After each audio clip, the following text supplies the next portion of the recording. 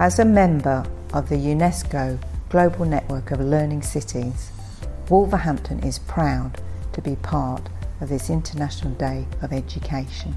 We are building a learning city through our Wolverhampton City Learning Region initiative.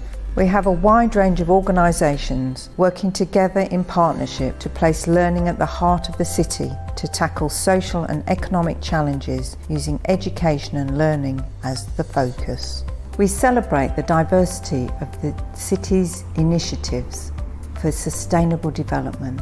These include learning communities, a community-based lifelong learning and skills development on the city-wide scale and responsive to the learning needs and interests of residents. The Learning City Quarter, a £50 million investment in transforming a section of the city centre into a learning quarter.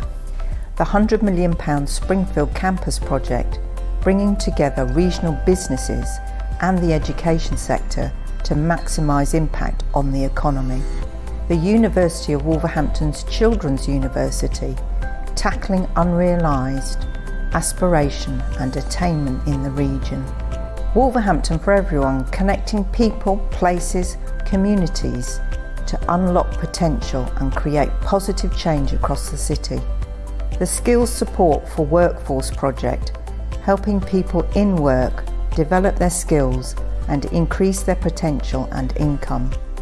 NHS Future Zone, the city's health and social care education resource centre, offering training opportunities and widening potential NHS career opportunities for local people.